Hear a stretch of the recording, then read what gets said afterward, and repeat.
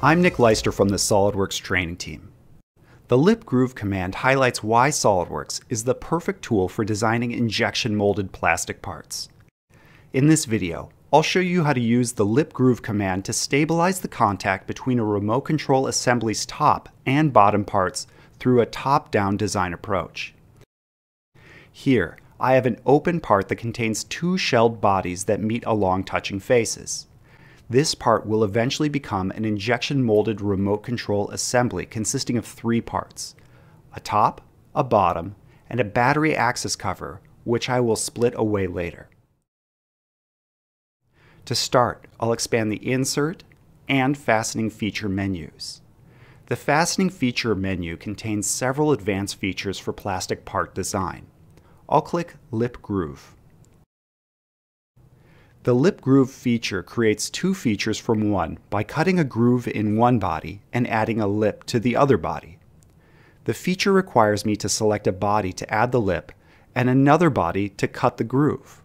The selection order affects the geometry. In this case, I'll add the groove to the bottom component, allowing the battery cover to slide out. Therefore, I'll select the bottom component in the groove selection field. I'll select the top component in the lip selection field. Now, I'll select the front plane in the third selection field to define the feature's direction. The initial selections expand the Property Manager's options. Under Groove Selection, I'll select the face and edge of the groove body from which I will remove material, in this case, the inside edge. I'll follow a similar process for the lip selection again selecting the face and edge from which I will add material to form the lip. Now I'll scroll down and enter the lip and groove dimensions. I'll click OK and note how the lip groove command creates two features in the tree. I can edit either feature to re-enter the lip groove command.